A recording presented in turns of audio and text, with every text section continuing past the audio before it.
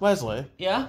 if you had to pick one moment, your favorite moment from the entire Star Wars movie that you watch a lot, what would it be?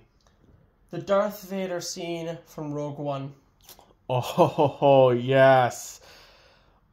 Why do you love that scene? Because it shows how scary Darth Vader is. Oh, yeah. Because Totally. Yeah. Sure, when we see Darth Vader and all the scenes he is, he's a very intimidating person. Especially when he enters the rebel ship in A New Hope in the music and he just enters, that shows you that this guy is Yeah. scary. But But this scene shows us not only is he intimidating, but hmm. he's also very scary. especially when he's trying to get the plans of the Death Star, Yeah. that he's trying to make sure the rebels do not get it, otherwise they'll know the weakness. Yeah. And the fact that the scene takes place in darkness, Mm-hmm. darkness, And the only source of light is from the window of the door that's jammed and his crimson lightsaber. yes. And boy, what a scene that was. To see that in the cinema, because we thought, is that that scene in Mustafar, is that the only scene he's in? Yeah. But then that ending shows up, and you're like, "Oh, there's more Darth Vader to see." Yeah. Yes. So you like it because it brings the fear of Darth shows Darth Vader as an intimidating and scary character. Mm. Mine is Duel the Fates. Hmm. Now, say Nice what choice. say what you want about the prequels, but there's many things that they've done to improve from the original trilogy, Yeah. and one of them is the lightsaber duels. Yes.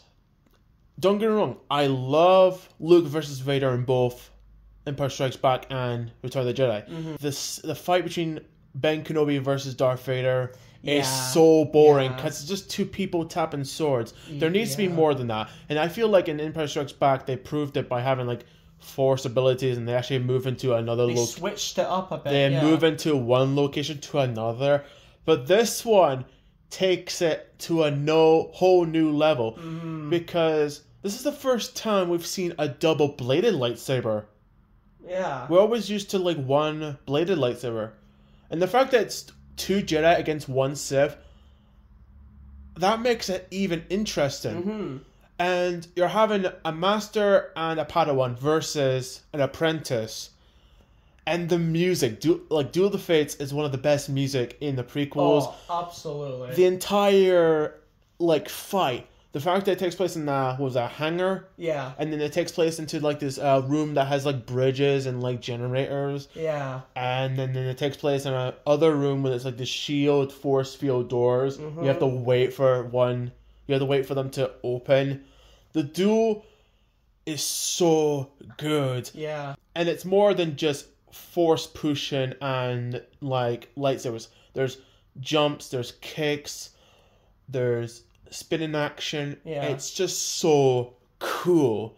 And say what you want about episode one, but that was a highlight in that movie. Absolutely. So your favorite moment was Darth Vader. My favorite moment was Duel of the Fates. What is your favorite moment from the Star Wars franchise? Let us know in the comment section below, and may the Force be with you.